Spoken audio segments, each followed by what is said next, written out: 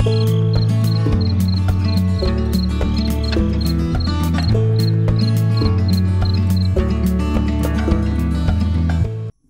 evening, everyone. Thank you very much for joining me. A shout out to our neighbors across the border there in Canada. There was a magnitude 3.9 earthquake about 50 55 miles from Maniwaki. It occurred at 6:16 p.m. local time. USGS is not reporting this earthquake. EMSC does not have any felt reports, but this was an interplate earthquake, meaning it was nowhere near any plate boundaries. And that's why I thought I would report this earthquake. It's not far. Oh, how about how many miles? Let's see. 88, almost 89 miles from the earthquake that they had in 2010. That was a magnitude 5.0. It was probably one of the largest earthquakes in this area of Canada. They don't have a lot of large earthquakes over here um, in Quebec. As you know, many of these fault zones have been recently reactivated. And this uh, 5.0 earthquake in 2010, yeah, it was felt over a large area.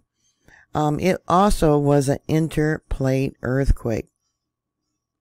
The biggest threat in this area would be um, an earthquake along the St. Lawrence Rift system, along with yeah the numerous nuclear power plants. Here's one, BWXT Nuclear Energy Canada. Let me zoom in a little bit.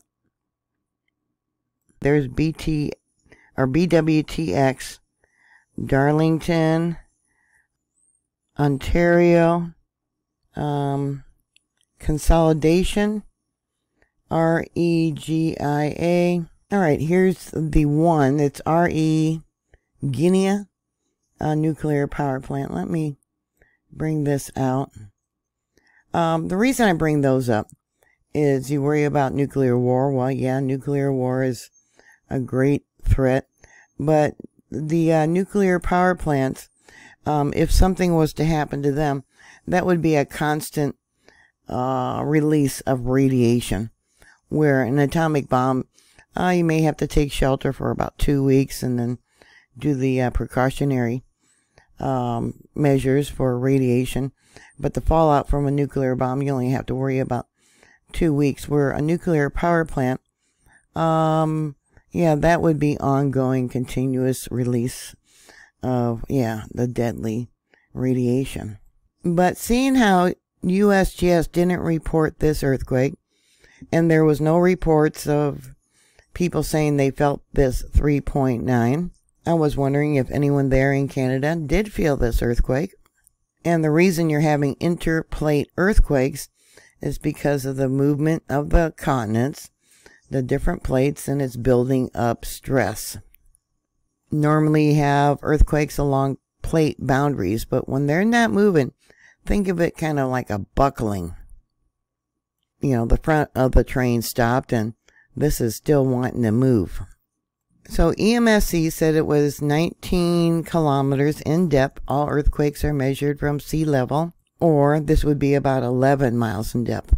You know, along the east coast of the United States, they're having a lot of earthquakes that are interplate earthquakes also. So, what are your thoughts? Uh, please put your questions down below if you have anything. Thank you very much for watching. Always be prepared for any type of disaster. And I'll talk to you later. God bless y'all. Bye.